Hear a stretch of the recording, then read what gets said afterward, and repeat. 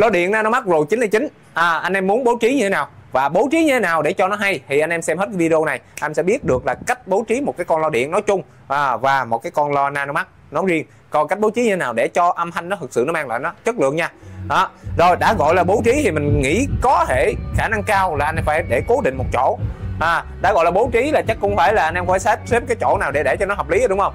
Đó thì với một cái không gian nhà ví dụ ví dụ như cái phòng studio của mình nè nó nhỏ thì anh em để đâu cũng được tại vì âm thanh nó cũng chỉ có hòa quyền ở trong này thôi.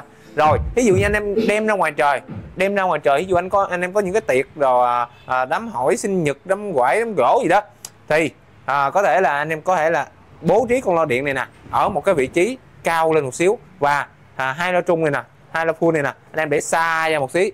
Đó khi mà anh em để xa như vậy á thì cái tiếng ở đây là đẩy là đẩy hai kênh à, và phát nhạc là phát nhạc trên hai kênh tức là khi mà anh em để cái cái con full này ra xa rồi á nó sẽ tạo cho anh em một cái hiệu ứng vòm của âm thanh.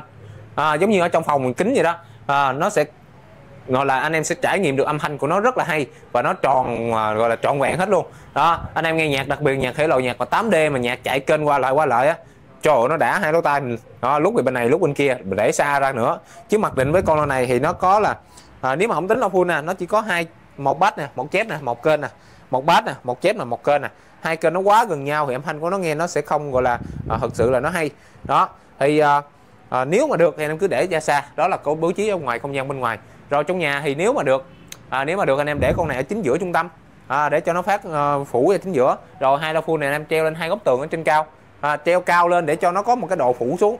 Đó độ phủ xuống thì sẽ là à, nó sẽ trọn vẹn hơn.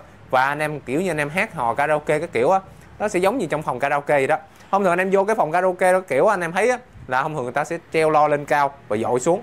Đó nó sẽ phủ cho mình cái không gian. Nó thực sự nó hay. Và nó cao như vậy nó ít hú nữa. À, đó thì anh em bố trí à, như là những gì mình gợi ý nãy giờ thì nó sẽ giúp cho anh em có được một cái con lo cũng như là một cái dàn karaoke nó thực sự là nó hay. À, rồi à, với lo điện Nanomax Pro 99 thì đây nguyên một combo như này hiện tại mình đang để với giá là 25 củ. Một giá quá tốt đi. À, anh em biết là ví dụ như bây giờ anh em sợ cái con nè mã này nè Nanomax Pro 99 nè. Sợ trên Google đây. À, anh em sợ thử coi là giá nó bán bao nhiêu.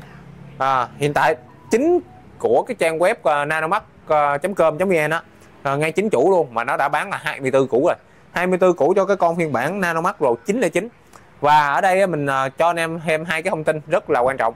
Thứ nhất á, là uh, giá 25, 24 củ nhưng ở đây mình bán chỉ có giá là uh, 18 củ chính rồi à, tại sao mình bán rẻ? Giả mang vậy à, hàng hóa có chất lượng gì không, kém chất lượng hay gì không? Hoặc là mình có bùa chế độ gì trong này không? Mà sao tự nhiên bán rẻ như vậy? À, anh em á gọi là nói chung mình bán thật tình ở chỗ là ở đây mình bán là mình lấy hàng trực tiếp từ bên xưởng của Nanomax là từ cái chỗ mà ráp sản xuất ra nó luôn á. Mình bán trực tiếp qua anh em luôn kiểu như là mình bán giá kho giá xưởng á. Đó thì anh em sẽ được một cái gọi là uh, chất lượng như nhau nhưng mà cái giá thành nó sẽ hợp lý hơn rất nhiều. Đó thì giá mình công khai là 18 của chính nên là anh em cứ việc đến thấy giá này hợp lý thì đến mua còn nếu mà anh em thấy mà muốn đòi hỏi muốn bớt gì á thì xin phép mình không có bớt được.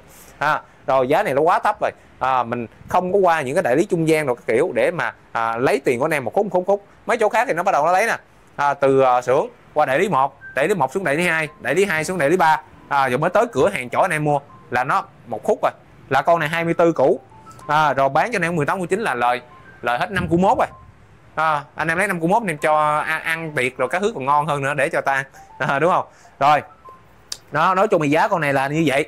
À, anh em hợp lý anh em chốt. À, rồi tiếp theo là cái thông tin thứ hai là nanomax độ 909 này nè. Hiện tại mình đã xin nanomax cho phép mình độc quyền cái dòng mã sản phẩm này. À, tức là trên thị trường không có chỗ nào bán cái dòng nanomax độ 909 này hết. Và chỉ có tại điện máy 3 số 9 và giá luôn 18 của 9 đó. Rồi anh em thấy uh, ok không?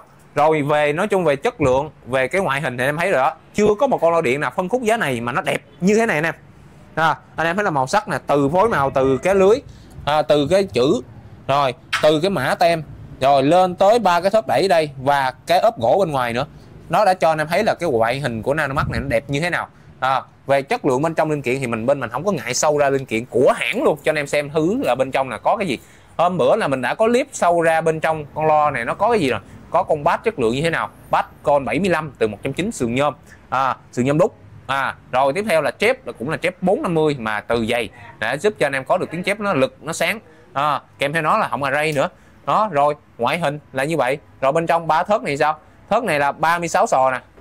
Oh, 36 sò cũng lớn cho mày nhỏ nha. Rồi tiếp theo anh em sẽ có là à, một cái ban cơ. Ban cơ thì nó chỉnh rất là đơn giản anh em. À, đụng là chỉnh đụng là chỉnh nè. Nó dễ hơn ban số rất nhiều.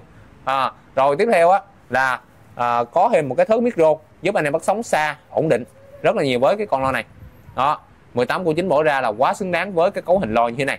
Đó rồi thùng này cũng là thùng MDF gỗ nó dày tới một phân rưỡi luôn. À, MDF là chất lượng ha sơn là sơn gai sần đó. Thì mình đánh giá cao ở Nanomax ở chỗ là cái thùng của nó lúc nào cũng làm chất lượng hết nè. Đó là lý do tại sao là những cái con lo Nanomax trên thị trường à, anh em đã mua sử dụng rồi nó có độ bền với thời gian là có thể là từ 6 đến có thể là 8 năm mà là bình thường luôn nha. À, đó thì mới nói là Nanomax là một trong những cái thương hiệu nó quá lớn trong cái làng loa à, lo kéo đồ các thứ loa à, loa âm thanh nói chung của Việt Nam mình rồi. Nên là thương hiệu này nó đã tồn tại lâu như vậy thì nó sẽ mang lại cho anh em về cái độ yên tâm nhất định về thương hiệu về chất âm về cấu hình à, rồi về chính sách bảo hành cũng như về tên tuổi của hãng này nữa. Đó thì đây là một trong những cái con lo mà mình thấy là Nanomax rất là tâm huyết à, ở chỗ tất cả mọi thứ luôn. Ngoại hình cấu hình chất âm rồi các thứ.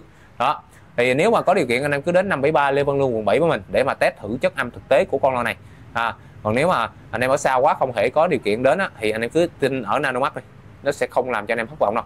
À, rồi 18 của chính cho con này ship 200k đồng giá ship toàn quốc. À, anh em thấy như nào thì để là bình luận bên dưới hoặc là ới ơi cho mình để được tư vấn thêm cũng như là chốt đơn em nói nha.